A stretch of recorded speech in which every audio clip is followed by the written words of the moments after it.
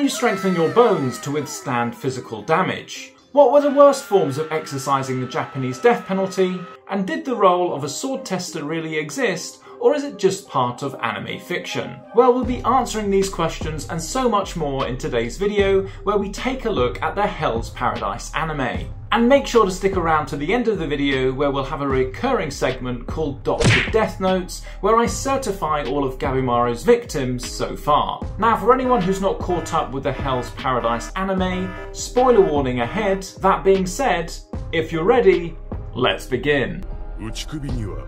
打ち首には極めて高度な技術が求められる頑強な骨と塔を超える筋肉が重なる首は容易に切断できない言い残すことない So yeah, the neck is made up of roughly 26 muscles, four major blood vessels, the spinal column, as well as the spinal cord. Now, cutting through all those layers took several hours when I worked as an ENT doctor, so I can't imagine the amount of power that would be required to do it in one blow.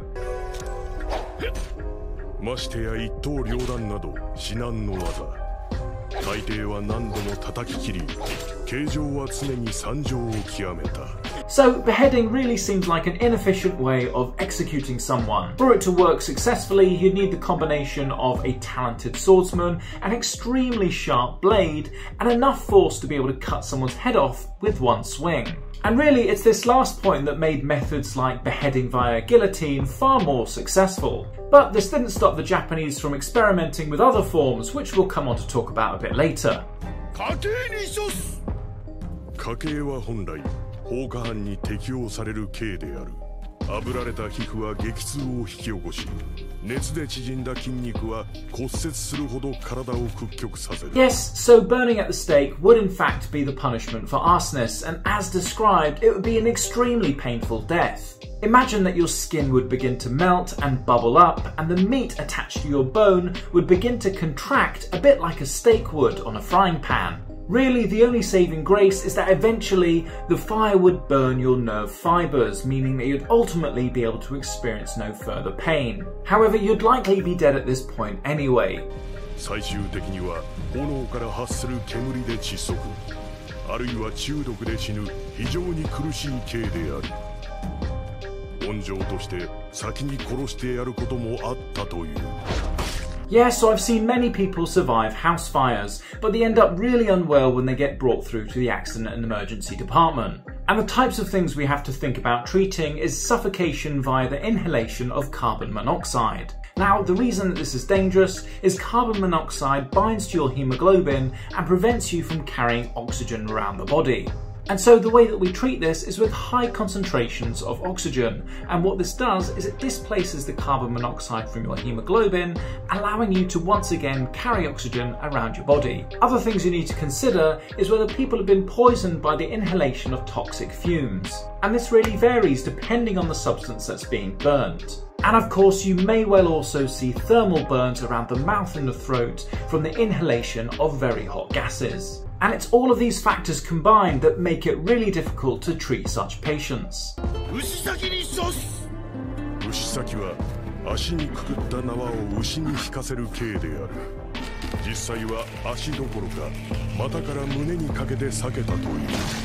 Yeah, so it's pretty shocking to think that somebody thought of these methods of execution. But dismemberment was often the punishment for adultery or treason, and it has a long history of practice with different empires changing the methods by which they would dismember their victims, with some being torn apart by cows or horses, whilst others were being sliced to pieces by elephants or even pulled apart by two trees. And the gruesome aspect of this method is that victims' joints would often dislocate before they were finally torn off, and this wouldn't lead to an instant death. In fact, many of the victims would end up suffering in pain for several hours before finally dying of their wounds.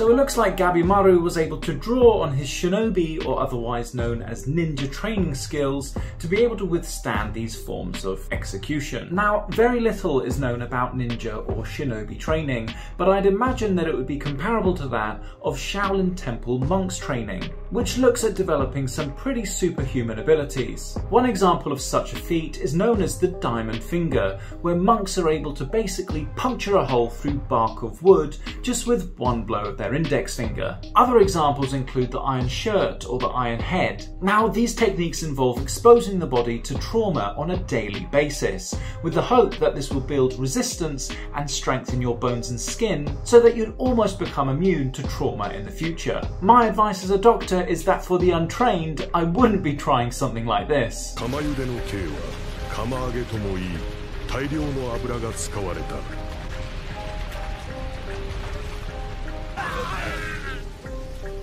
どうして死なない？Okay, so this form of execution seems a little bit wasteful of oil when it has a similar effect to being burnt at the stake. In fact, rather than using hot oil, in Britain during the medieval times, they would often execute people by boiling them to death in a pot of hot water. Remember, hot water at a temperature as low as 50 degrees is sufficient enough to burn your skin, so oil being poured over you at 360 degrees would likely melt the skin and soft tissues off of your bones. 今度はどんな刑かな？正直付き合うのも疲れたよ。一体いつになったら？減らず口もこれまでよ。I like how Gabimaru is getting fed up with all of these different execution methods, but there's quite a few that they haven't shown yet, which were quite commonly used at the time. Now, these would include things like being hung or being stoned to death. In some cases, people were buried alive, and in others, they were tied up in a woven carpet and thrown into the river to drown.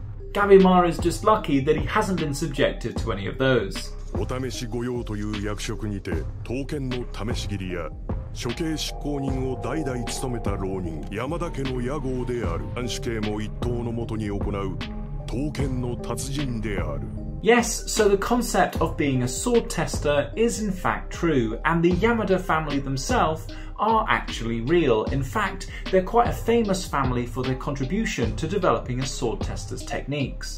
And what this would have involved back in the bygone era is actually testing the sword out on the bodies of deceased criminals. Believe it or not, but books were created by the famed Yamada family, cataloguing the various ways that you could cut up your human body to help test your sword. 時話し家の罪人が話の最中に首を落としてほしいと言ってきた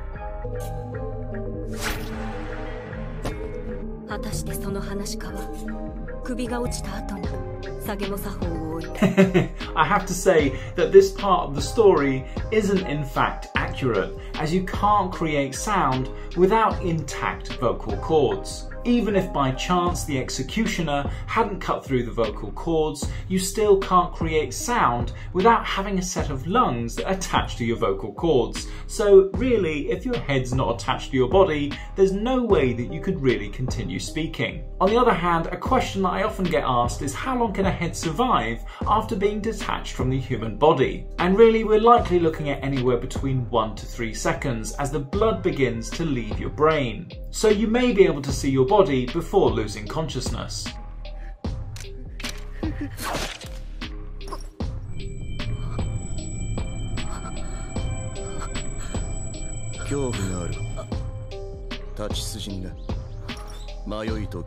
Yeah, so I found this really interesting to see how the anime dealt with the psychological impact of being an executioner. I remember watching a Vice video on this topic a few years ago where they interviewed an executioner who stated that even until this day, he's still able to see the faces of his victims.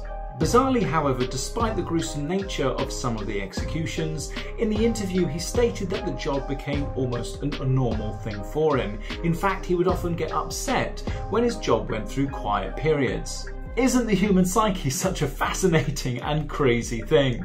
ああすまんがもう一つ上陸する前に人数を絞ってほしいは船の定員も浅右衛門の数も限られているのでな Oh gosh, okay, so they need to cut down the numbers of criminals that they're taking on this quest, which means that we're going to have an all-out battle royale. So it sounds as though it's going to draw on my death certification skills, so if you're ready for a quick fire round, let's begin.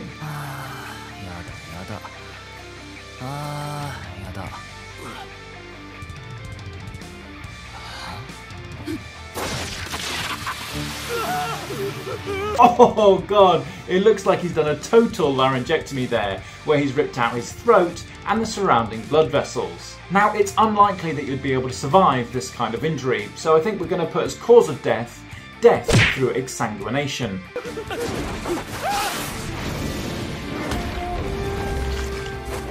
Oh, okay, so trauma to the back of his neck, which is likely going to break his neck and damage his underlying spinal cord.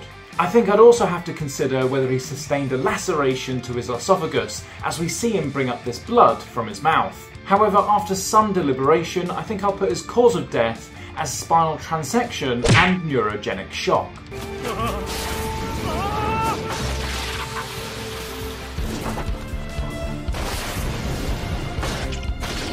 Oh god, two further laryngectomies, and this would lead to massive blood loss and asphyxiation. Remember to always guard your throat if you find yourself in a fight. It's probably one of the most vulnerable points on the body where you've got not only your circulation at risk, but also your breathing apparatus. So for these two guys, once again, I think we're gonna have to put the cause of death as exsanguination or death through blood loss.